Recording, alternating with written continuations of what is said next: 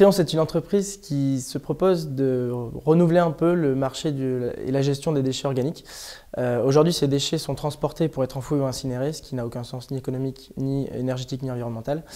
Euh, on se propose donc de supprimer cette collecte en ayant un service de traitement local des déchets organiques.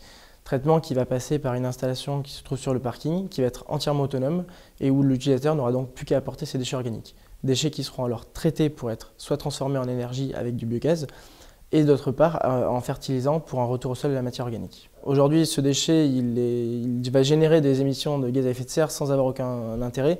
Demain, il va pouvoir générer de l'énergie renouvelable et apporter un retour au sol. Entrepreneur d'avenir, pour moi, je dirais que c'est euh, agir pour faire évoluer des choses qui aujourd'hui ne paraissent pas évidentes. Euh, et donc les faire évoluer dans un sens à la fois sociétal, environnemental, mais aussi économique, puisque c'est comme ça que ça marche, il faut toujours l'avoir en tête. Euh, nous, euh, typiquement, notre action principale sera de faire éviter des collectes et donc du trafic de camions, euh, tout en générant de l'énergie renouvelable et en réappropriant l'aspect ressource de la matière qui est aujourd'hui considérée comme un déchet.